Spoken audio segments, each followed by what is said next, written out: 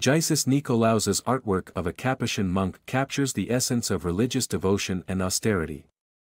The painting depicts a hooded monk kneeling in prayer, his hands clasped together and his eyes closed in deep contemplation. The monk's simple brown robe and the stark, monochromatic background highlight the austerity and simplicity of his way of life. Gysis's attention to fine detail, especially in the folds of the monk's robe and the wrinkles on his face, further portrays the character's depth and sincerity. The artwork is a beautiful tribute to the spirituality and perseverance of the Capuchin monks.